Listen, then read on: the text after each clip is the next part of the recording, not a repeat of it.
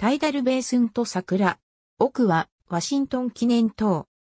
タイダルベースン周辺一輪館記念館にリフレクティングプール3第二次世界大戦記念碑4、ワシントン記念塔5朝鮮戦争戦没者慰霊碑、6コロンビア特別区戦没者慰霊碑7、フランクリン・デラノ・ルーズベルト記念公園8、ジェファーソン記念館タイダルベースン、またはタイダルベースンはアメリカ合衆国ワシントン DC のナショナルモール南側に位置し、ポトマック川に隣接する入江である。タイダルベース運は、ワシントン運河にポトマック川の水流を導き、その汚染を防止するために1897年に築かれた反人工的な入江である。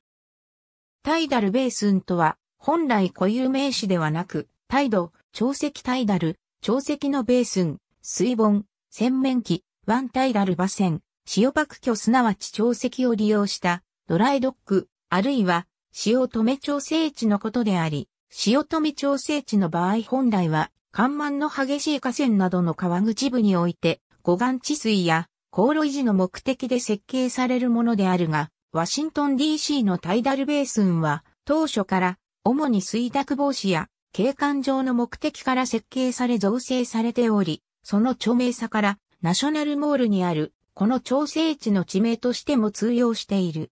校長維持には、ポトマック川川の受水門が開くとともに、ワシントン運河側の出水門が閉じて、タイダルベース内に約100万キロリットルの河川水が蓄えられる。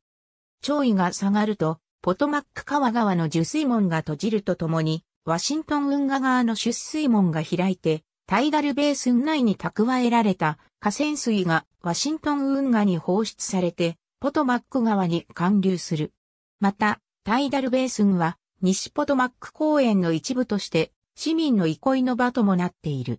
岸には、ジェファーソン記念館や、フランクリンデラのルーズベルト記念公園が立ち並ぶ。